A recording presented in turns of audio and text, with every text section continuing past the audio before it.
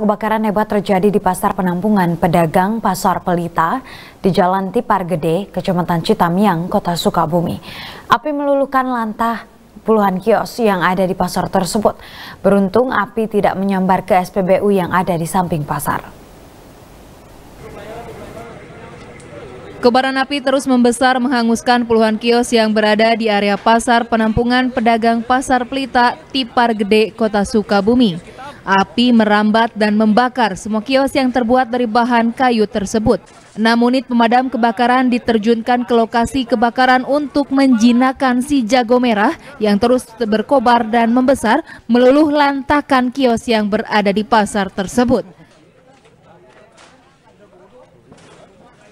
Saksi mata Dede Mulyana mengatakan api berasal dari salah satu kios kelontongan yang terus membesar hingga merambat ke kios lainnya.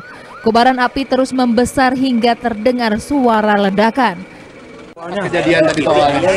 Gini kan ada toko ini dia, toko apa teh kelontongan. Hmm. Nah dari sana awalnya gitu. Melihat titik api kan? Titik api lihat. Ah, terus? Dikirain di Pertamina, pas itu teh kelihatannya di itu di apa teh kelontongan teh yang rumah itu tuh. Toko yang oh, awalnya berarti dari tengah? Ya dari tengah. Bukannya dari sana dari tengah. Jam berapa kang waktu itu kan kita enam. Sementara itu wali kota Sukabumi yang datang meninjau lokasi kebakaran mengatakan Kios yang terbakar di pasar tersebut sebanyak 30 kios yang merupakan blok pedagang kelontongan.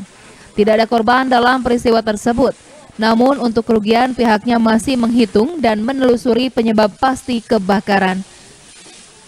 Informasi dari beberapa orang katanya ada di toko minyak ya yang terbakar kecil kemudian ada ledakan dan api menyebar ke mana-mana tapi masih kita telusuri. Ada berapa kios yang terbakar? Ada berapa kios yang terbakar? Uh, sejauh ini belum, cuma satu blok ini insya Allah apa satu blok ini kan uh, terbakar semuanya. Jadi perkiraan kita satu blok itu rata-rata 30 kios. Petugas masih terus berusaha melakukan pemadaman api supaya tidak merambat ke SPBU yang ada di sebelah pasar tersebut. Budi Setiawan, Bandung TV.